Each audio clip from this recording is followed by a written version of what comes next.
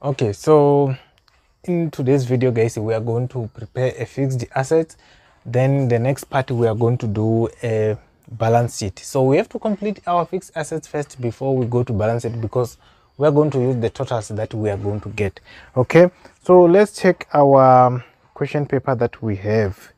So 1.2 they say prepare notes for tangible assets. Then the balance sheet we're gonna do it on the separate video. Okay then this is the skeleton that we are going to use. The first part we are going to record balances at the beginning additional and balance at the end. Okay.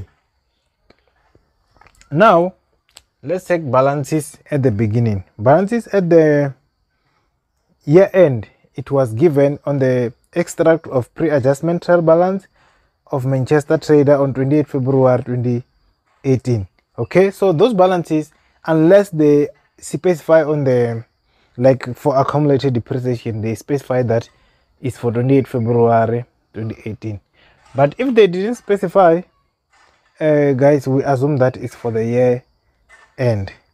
Okay now let's start with the cost price. The cost price of land and building um, it was given uh, even on the answer book. Okay if you check on the answer book uh, they give us amount. Okay apologies for this one. I was assuming that this column is for the year end.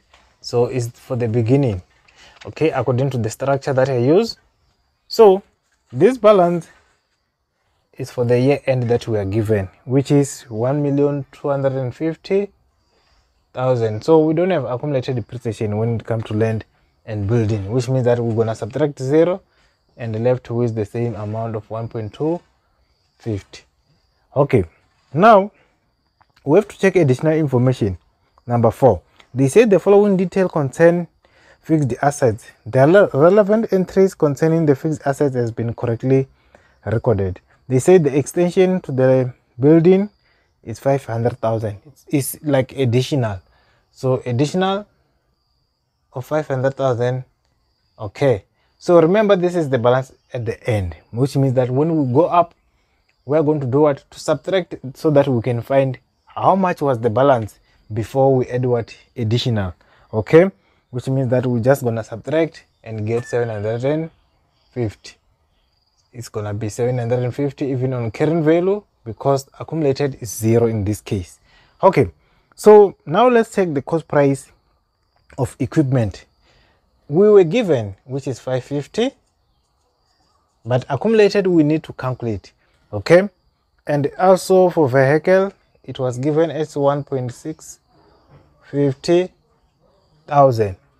Okay now let's proceed. Let's proceed. Let's check the amount of accumulated if it is it was given. Yes accumulated for the year end it was given. Is 200,000 there was no max allocation for this one and one eight because it was there on the answer book which means that now you can be able to calculate what? This two amount. Okay. Then for this one a current value it was 550 thousand. And this one is gonna give us 1.5 20 thousand. Okay? Just like that. Okay let's proceed. If you check additional information number the last one depreciation for the year was calculated as follow. Equipment depreciation was calculated. Remember land and building no depreciation. Okay?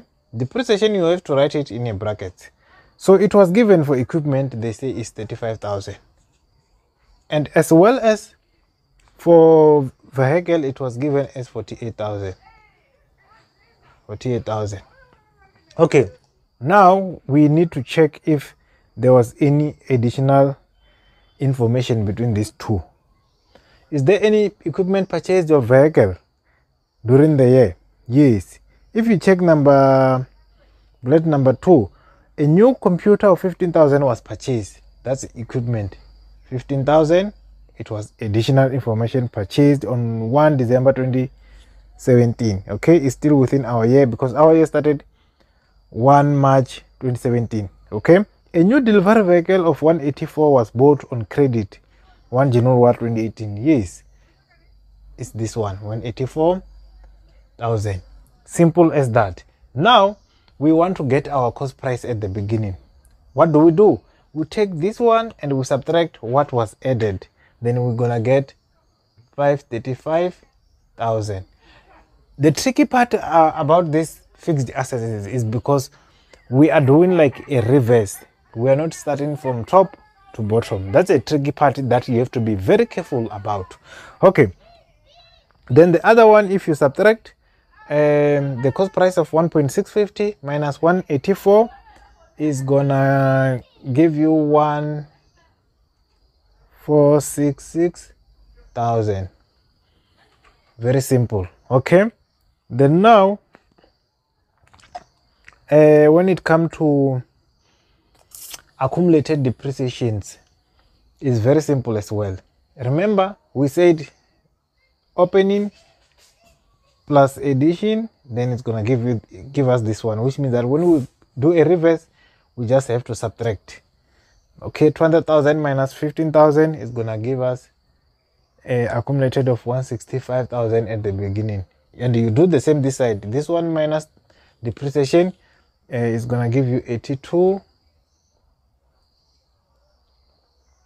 82,000 okay this one is 48,000 guys. It's not 408 48,000 then it's gonna give you 82,000 okay? This one is not 180 it's 130 apologies for that. Then 130 minus 48 is gonna give you this one.